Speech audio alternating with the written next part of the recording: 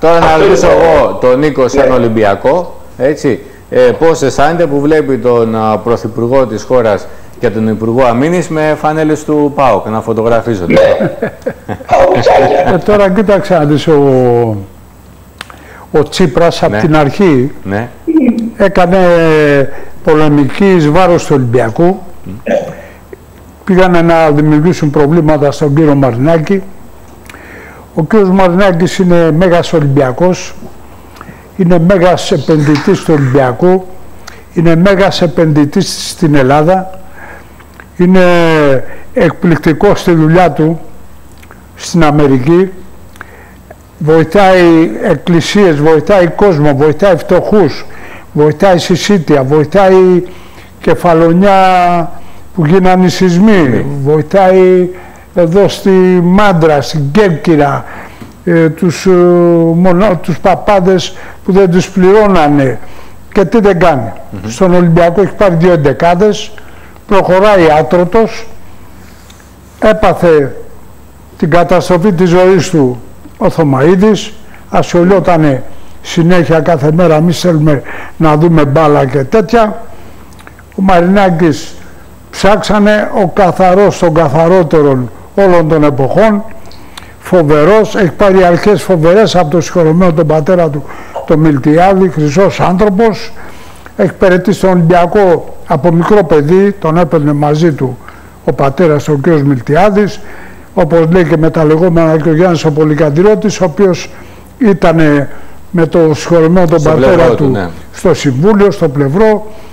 Ε, Βγήκε ένας ε, πρόεδρος εκπληκτικός, μεγάλος, με δικές του ας πούμε υποχρεώσεις να πληρώσει, να κάνει, ούτε δάνειο, ούτε από εδώ, ούτε από εκεί και κυνήγει από την κυβέρνηση την οποία ο Τσίπρας το πλήρωσε. ναι.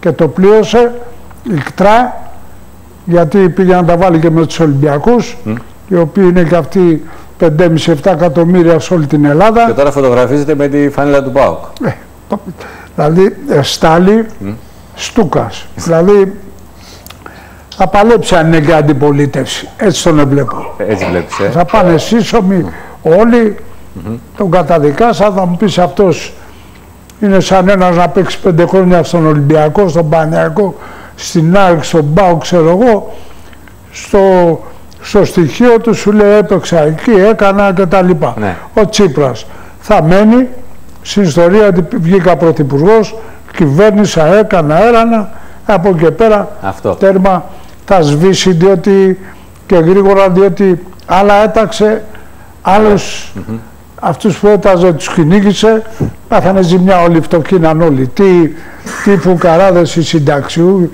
τι όλος ο κόσμος. Και από εκεί και πέρα ανοίγει ο δρόμος Ναι.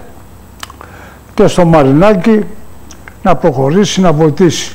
Για τον, Κυβέρνηση. ε, για τον Υπουργό Αμήνης που και αυτός έχει έρθει σε αντιπαράθεση με τον Ναι, Ολυμπιακό. κοίταξε να δεις, αυτοί οι Γιάννη μου μπήκανε μέσα, Ναι. τελευταίο χαρτί πάνε τα παίζουν όλα, σκόλασε και ο καμένος όλοι αυτοί, αλλά τι γίνεται.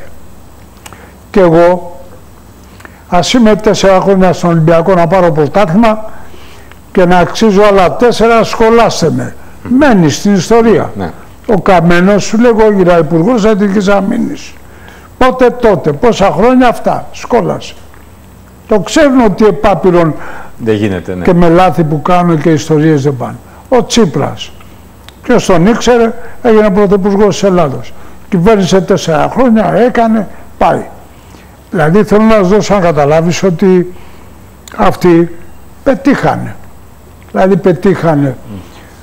Θα λέει η μισή, ξέρω εγώ ένα 19% εντάξει καλά, το 29% λέει κόντρα και δεν είναι και μεγάλη διαφορά, 9 βαθμούς. Ναι.